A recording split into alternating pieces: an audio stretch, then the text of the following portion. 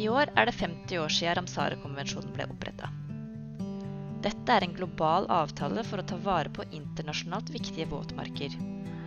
Om våren bruker fuglene elver og innsjøer som kart for å finne igjen de beste spise- og hvileplassene. Mjøsa og Femund viser veien til Åkersvika og Tufsingdelta. I dag har Norge 63 områder med Ramsar-status. Nå tar vi dere med til tre av dem.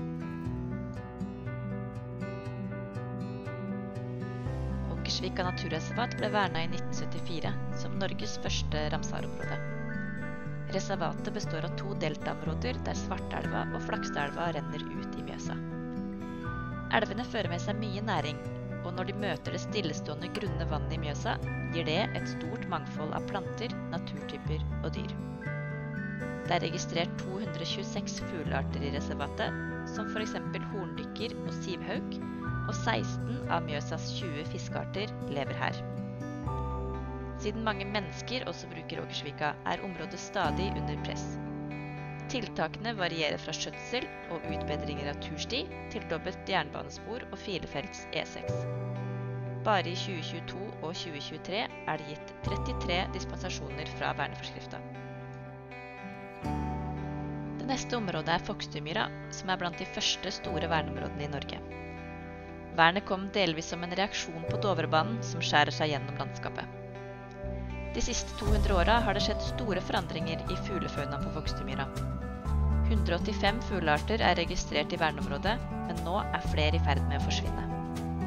Stjertan har forsvunnet helt. Før hekket den der fast. Heilo er også i ferd med å forsvinne.